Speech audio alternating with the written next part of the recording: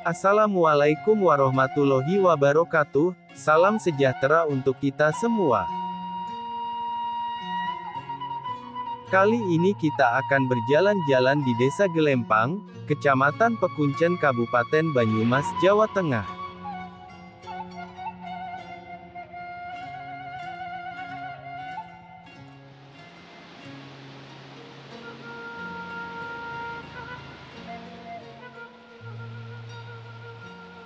Desa ini berada di sebelah utara Kabupaten Banyumas dan masih berada di kawasan kaki Gunung Slamet.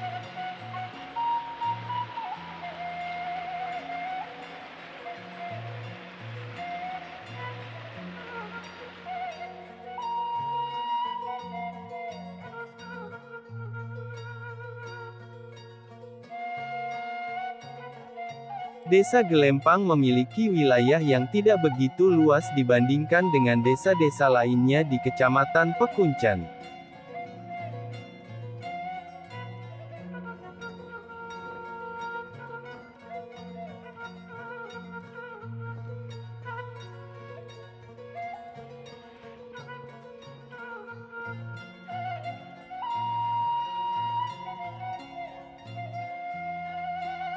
Pembangunan infrastruktur jalan, tempat ibadah serta fasilitas lainnya terbilang sudah cukup bagus.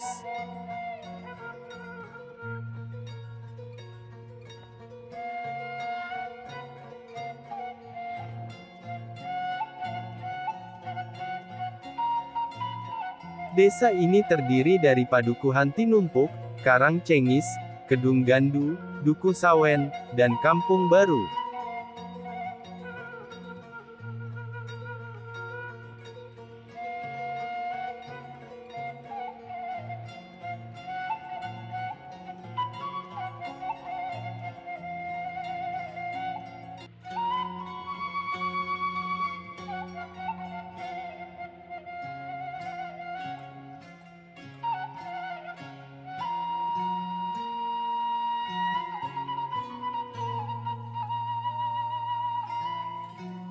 Dengan limpahan air yang banyak, desa ini dominan dengan penduduknya bermata pencaharian sebagai petani.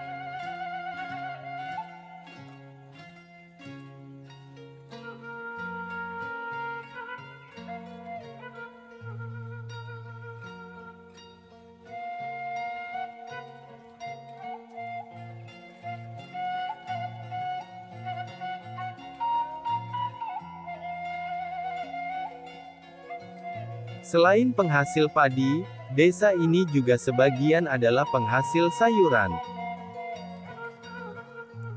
Sebenarnya desa Gelempang memiliki potensi wisata air dengan adanya air terjun atau Curug Kedung Lesung, hanya saja potensi wisata ini belum dikembangkan dengan baik. Curug Kedung Lesung merupakan salah satu wisata alam yang berada di Desa Gelempang Kecamatan Pekuncen Kabupaten Banyumas. Desa Gelempang juga mempunyai produk herbal yaitu madu klanceng dan kopi pol.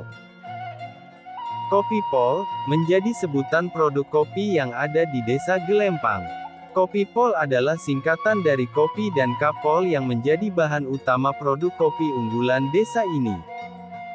Madu klanceng, madu yang kaya akan khasiat. Madu ini diproduksi oleh kelompok tani hutan rimba langgeng desa Gelempang melalui setup atau kotak lebah dengan makanan bunga sekitar, khususnya bunga matahari. Madu klanceng terkenal untuk pengobatan herbal atau pengobatan tradisional.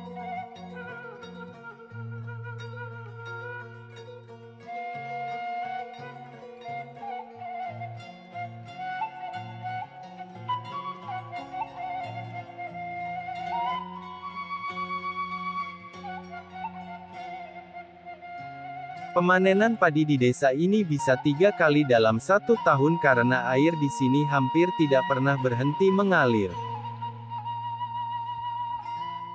Itulah sekilas tentang Desa Gelempang Kecamatan Pekuncen Kabupaten Banyumas. Jangan lupa untuk tetap mendukung channel ini dengan menekan tulisan subscribe agar tetap bisa menyajikan info-info lainnya. Terima kasih telah menonton, semoga bermanfaat. Akhir kata, wassalamualaikum warahmatullahi wabarakatuh.